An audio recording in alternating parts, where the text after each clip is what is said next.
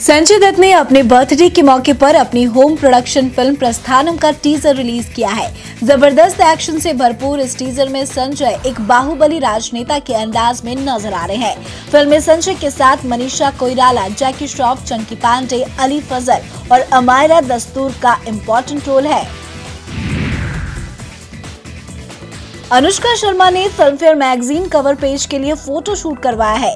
Photos में अनुष्का शर्मा काफ़ी sexy लग रही है। अनुष्का शर्मा ने खुद अपने इंस्टाग्राम पर फ़ोटो शेयर किए हैं, जिसमें वो ब्लैक सेक्सी वन पीस पहने नज़र आ रही हैं।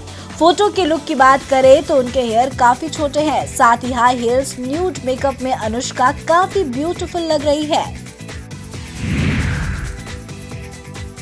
बॉलीवुड एक्ट्रेस कंगना रनौत की फ़िल्म जजमेंटल है, क्या रिलीज़ हो चुकी है? फ़िल्म को क्रिटिक्स और ऑडियंस का अच्छा रिस्पांस मिल रहा है। फ़िल्म रिलीज़ होने के बाद कंगना हिमाचल प्रदेश की स्पीति वैली की खूबसूरत वादियों में हॉलीडे एंजॉय कर रही है।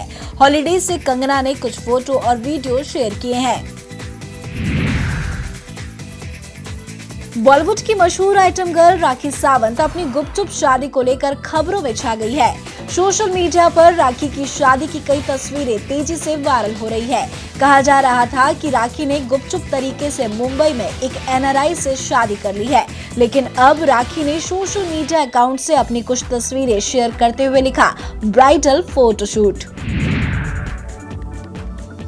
Bollywood actor Salman Khan की एक नई वीडियो सोशल मीडिया पर खूब वायरल हो रही है। इस वीडियो में बॉलीवुड के दबंग सलमान खान सफ़ेद कुर्ता, पजामा पहनकर लाल किले के सामने साइकिल चलाते नज़र आ रहे हैं।